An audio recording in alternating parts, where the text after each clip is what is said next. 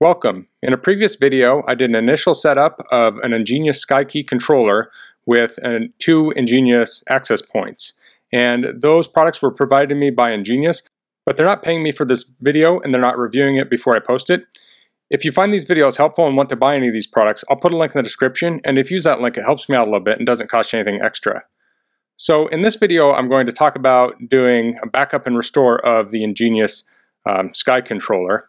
So it's a pretty simple task, but um, some people may want to see what it looks like before they purchase. So I'm logged into the SkyKey controller. I want to click on the gear up here at the top. Then I want to click on this Backup Restore ezMaster. And it says download upload. I'll hit backup here. And this will back up to my computer.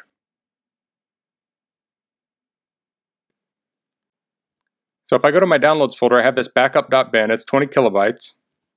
And then I can go to Restore ezMaster Configuration. I can say Choose File here. I can click on Downloads, and I can choose backup.bin and say Choose, and then I can hit Restore. And that will restore your settings to the point they were at when you did the initial backup. I would recommend taking this backup and probably putting the date on it, 12, let's see, it's 06, like so, and then uh, keeping your old backups in case you need to go back, like say two backups ago for some reason um, you'll have those available. So putting the date on there is pretty handy. And I like to use the year, month, day format so they stay in order.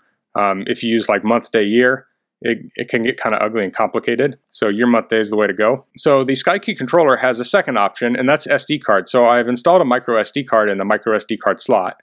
And I click on SD card here, and then I can hit backup. And this will back up the config to the onboard SD card. So when you're dealing with your enterprise networks, you might have uh, you know 10 different techs that manage these networks. And if they downloaded that backup onto their personal computer, it's kind of worthless if someone else has to restore it. So by having it on the local SD card, you can another tech can come in here, click on this, and hit restore, and they'll be able to get to it. And you can see here it named it uh, backup dash, and it has the date and the year, month, day. Also put the time on there. So we can back up again. I'm sure it'll make another backup.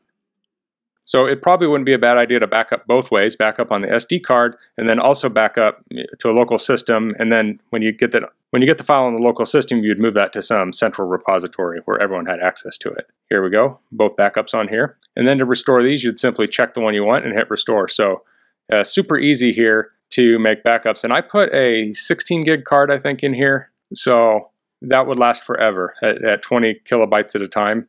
Um, you could even put an 8 gig. You could put a tiny card in. They're super cheap.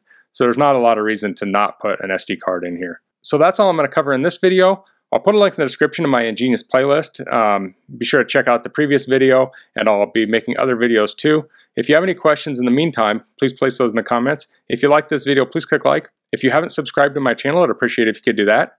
And thanks for watching. Until next time, goodbye.